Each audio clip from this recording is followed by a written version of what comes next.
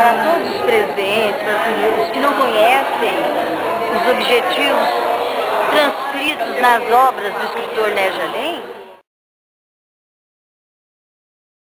eu como irmã devo dizer o seguinte, que as histórias do Mano Lege têm o seu princípio na sua infância.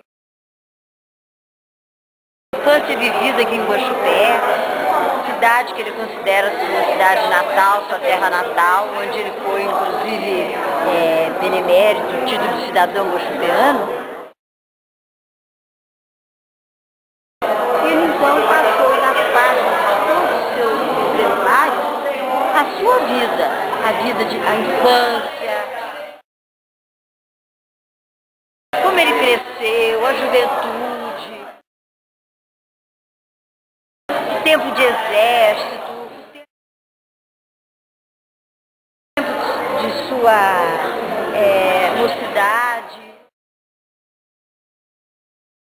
seus filhos, sua esposa, tudo aquilo que ele sempre amou, tudo aquilo que ele sempre é, quis bem, eles estão transcritos. Inclusive eu estou lá no primeiro livro, A Rua do Tapuão. Para quem quiser ter uma lembrança, procure o livro. E depois os outros. Agora o último é o engraxate Dudu. Só que tem um outro na forma, esse ainda não me disse nem o nome. Imagina o irmão escondendo o nome do, do livro para mim. Tem muita coisa para a gente contar. conteúdo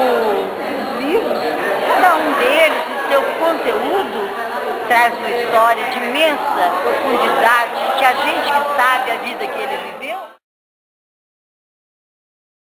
é capaz de traduzir em prosa aquilo que ele colocou no livro.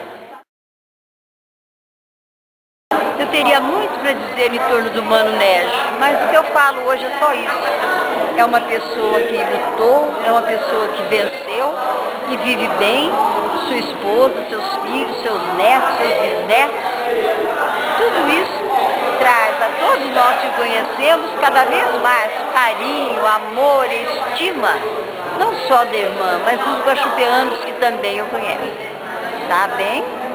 Um beijo para ele, deve estar lá em São Paulo.